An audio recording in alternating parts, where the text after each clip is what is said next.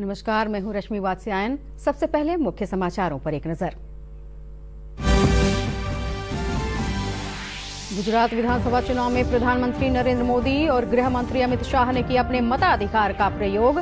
PM ने की चुनाव आयोग की सराहना। कुढ़नी विधानसभा उपचुनाव में मतदान जारी। 11 बजे तक 24 प्रतिशत हुआ मतदान।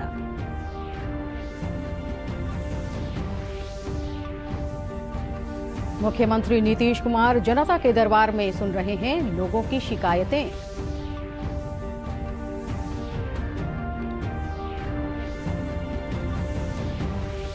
मोकामा में पिकअप वैन की चपेट में आने से एक दर्जन से ज़्यादा महिलाएँ जख्मी।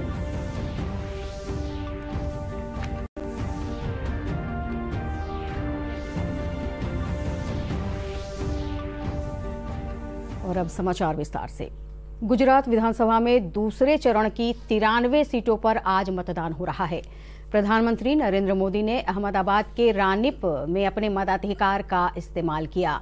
वोटिंग करने के बाद प्रधानमंत्री नरेंद्र मोदी ने लोगों से मतदान करने की अपील की। इस अवसर पर उन्होंने चुनाव आयोग की व्यवस्था की तारीफ़ की।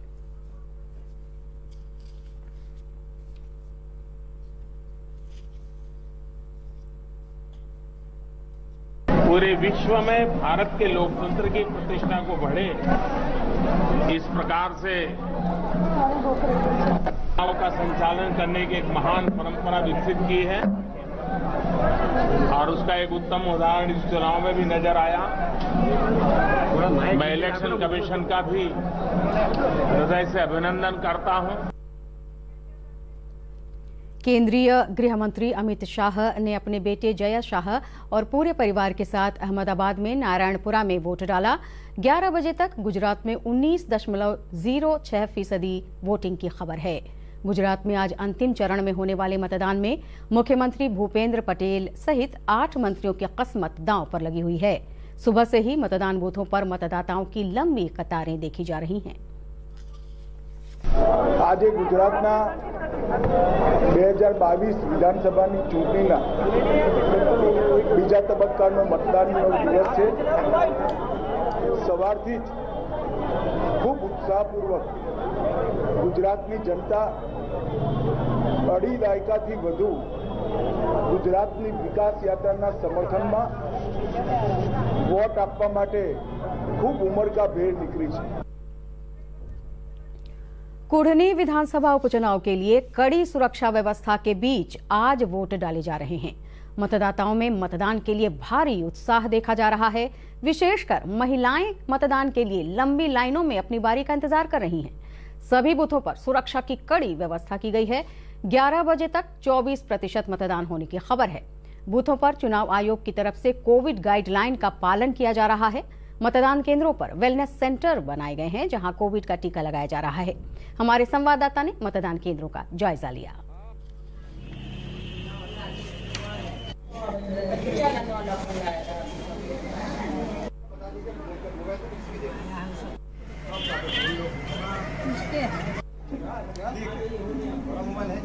कुडनी विधानसभा उपनिर्वाचन को लेकर सुबह सात बजे से वोटिंग शुरू है। महिलाएँ, युवा और पुरुष मतदाता काफ़ी संख्या में लाइन में लगकर वोटिंग कर रहे हैं। दो बूथ वेलनेस बूथ बनाए गए हैं, जहाँ पर मतदाताओं को स्वास्थ्य परीक्षण भी किया जा रहा है।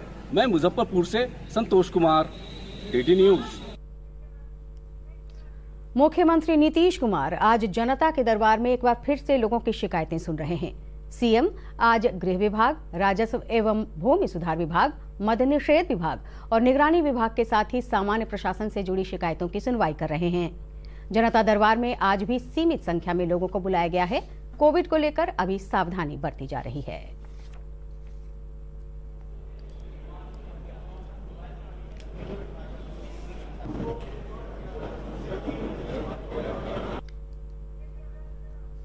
विश्व मृदा दिवस पर आज बामेती में कार्यक्रम का आयोजन किया गया। राज्य सरकार द्वारा इस कार्यक्रम का आयोजन कृषि मंत्री कुमार सर्वजीत ने किया।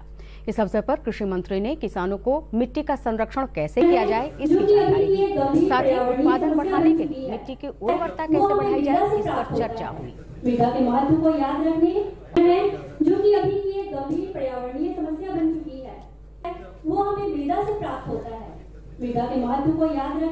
और उसके संरक्षण के प्रति लोगों को इस बुलेटिन का सीधा प्रसारण आप हमारे YouTube channel D D news Bihar पर देख सकते हैं।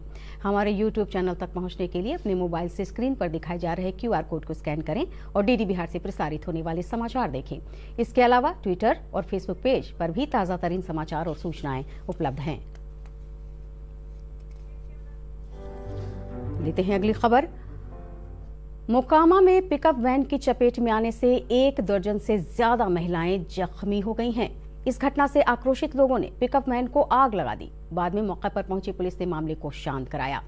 प्रत्यक्षदर्शियों ने बताया कि बारात में सभी महिलाएँ रास्ते में नृत्य कर रही थी, तभी पिकअप वैन ने महिलाओं को टक्कर मार दी। हादसे में घायल महिलाओं को मोकामा के स्थानीय अस्पताल में भर्ती कराया गया है।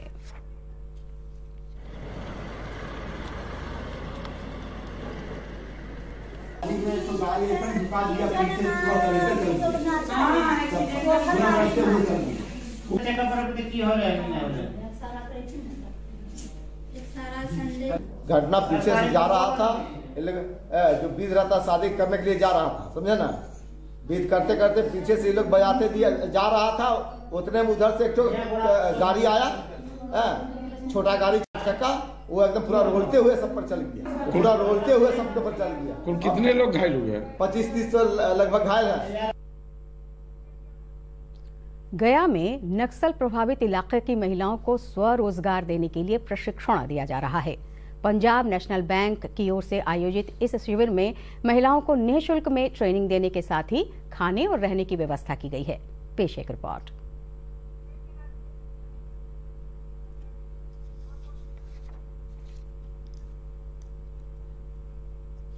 गया में इन दिनों नक्सल प्रभावित इलाके की महिलाओं को आत्मनिर्भर होने के लिए प्रशिक्षण दिया जा रहा है। पंजाब नेशनल बैंक की तरफ़ से इन महिलाओं को सिलाई का मुफ़्त में प्रशिक्षण दिया जा रहा है। इस संबंध में जानकारी देते हुए आरसीटी के निदेशक सुनील कुमार ने बताया कि सिलाई सीखने के लिए महिलाओं के दो बैच बनाए गए हैं। इनके रहने खाने की भी निःशुल्क व्यवस्था की गई है। भारत सरकार ग्रामीण विकास मंत्रालय के तत्वाधान में चल रहा है। जो कि 30 दिवसीय महिलाएँ सिलाई सीख करके स्वरोजगार करेंगी, विभिन्न प्रकार के वस्त्र उत्पाद अपना करेंगी, सिलाई सिखा भी सकती हैं। उससे उनका जीविकोपार्जन होगा। और ये जो महिलाएँ हैं, जो बीसी सखी का है, वो सीएसपी चलाएँगी भिन्न भिन्न बैंकों का। इन लोगों को मिला हुआ है। आईएफबीएफ का जब एग्ज़ाम पास करेंगे तो ये अपना सीएसपी चलाएँगे और अपना इनकम जनरेट करेंगे। प्रशिक्षण लेने वाली महिलाओं ने पीएनबी आरसीटी की इस पहल का स्वागत किया है। वहीं महिला प्रशिक्षक सुमंती देवी ने बताया कि सिलाई सीखने को लेकर बच्चियों और महिलाओं में जुनून है। यहाँ पे आरसीटी का ट्रेनिंग ली जा रही है जिसमें चौतीस बच्चियाँ हैं और इन लोग अच्छे से सिलाई सीख रही हैं। कितने दिनों तक प्रशिक्षण दी जाएगी तीस दिन। केंद्र सरकार की तरफ़ से प्रोजेक्ट उन्नति के तहत मनरेगा श्रमिक परिवार की महिलाओं को कौशल विकास का प्रशिक्षण देकर अपने हुनर को आगे बढ़ाने का मौका दिया जाता है, जिससे कि ये महिलाएँ आर्थिक रूप से सशक्त हो सकें। गया से प्रेम प्रकाश की रिपोर्ट, दूरदर्शन समाचार, पटना। पटना सिटी के मितन घाट में सूफी हज़रत ख्वाजा रुकनुद्दीन इश्क का 241वां सालाना उर्स शुरू किया इस अवसर पर आयोजित कार्यक्रम में महफिल समा के साथ ही चादर पोशी की गई। खानकाह के गद्दी नशी सैयद शाह ख्वाजा अमीर शाहिद की निगरानी में आयोजित उर्स में जायरीन ने चादर पोशी की तथा देश और प्रदेश में शांति और विकास की कामना की। उर्स में शामिल होने के लिए प्रदेश के विभिन्न जिलों के अतिरिक्त पश्चिम बंगाल और बांग्लादेश से भी लोग आए थे।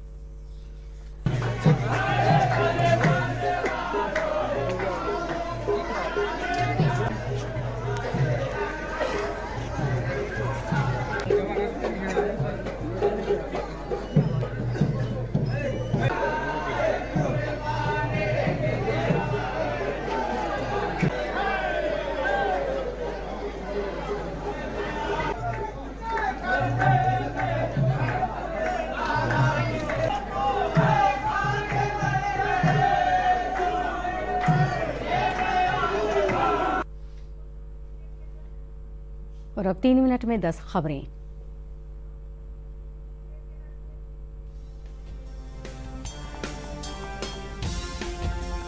प्रधानमंत्री नरेंद्र मोदी आज नई दिल्ली में। भाजपा के राष्ट्रीय पदाधिकारियों की दो दिवसीय बैठक को करेंगे संबोधित।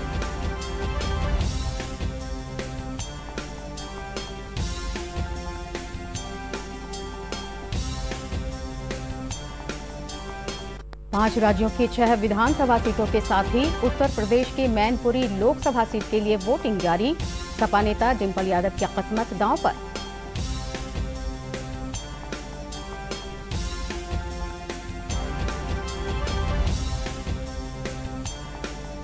जबरन धर्मांतरण को लेकर सुप्रीम कोर्ट में सुनवाई, आज केंद्र ने हलफनामा में कहा है कि जबरन धर्मांतरण को रोकने के लिए उचित कदम उठाएँगे।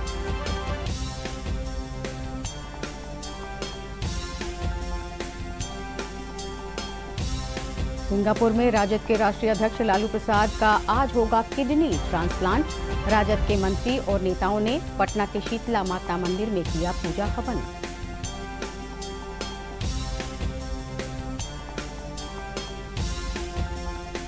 बिहार के स्कूली बच्चे भी पढ़ेंगे। जी ट्वेंटी में भारत की अध्यक्षता की कहानी।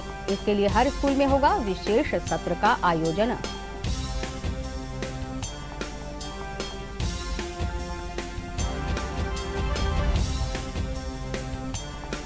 मुंगेर सदर अस्पताल में कैंसर स्क्रीनिंग की सुविधा हुई शुरू।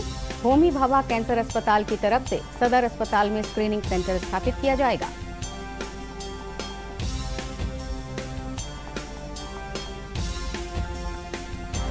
पछुआ हवा के कारण प्रदेश में बढ़ी ठंड। राजधानी पटना सहित नौ जिलों में गिरा तापमान। पाँच शहरों में न्यूनतम तापमान 10 डिग्री से नीचे पहुँचा। ट्रेनें हुई विलंब।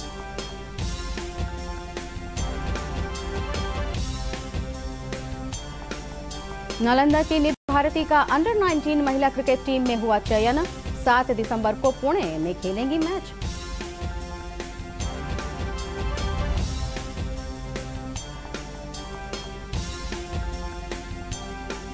फीफा वर्ल्ड कप में इंग्लैंड टीम की सेनेगल पर शानदार जीत। अब क्वार्टर फाइनल में फ्रांस से होगी टक्कर।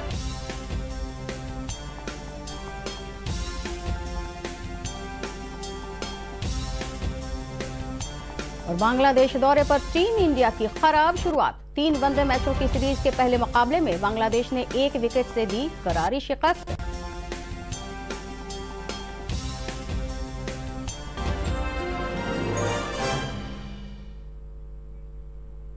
और अंत में मुख्य समाचार एक बार फिर से।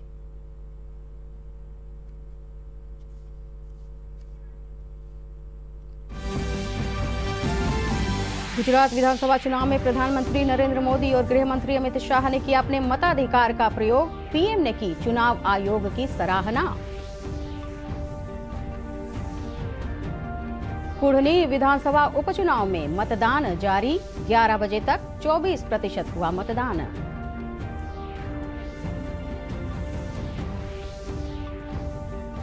मुख्यमंत्री नीतीश कुमार जनता के दरबार में सुन रहे हैं लोगों की शिकायतें।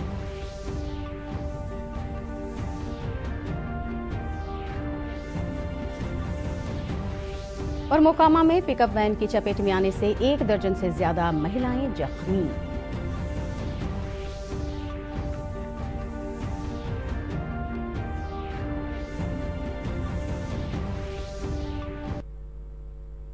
इसके साथ ही प्रादेशिक समाचार का ये बुलेटिन समाप्त हुआ। दर्शकों, डीडी नेशनल लाभ के लिए लेकर आया है स्वराज सीरियल। हर रविवार रात नौ बजे। देखिए इसका पुनः प्रसारण गुरुवार दोपहर एक बजे, शनिवार रात नौ बजे और रविवार सुबह।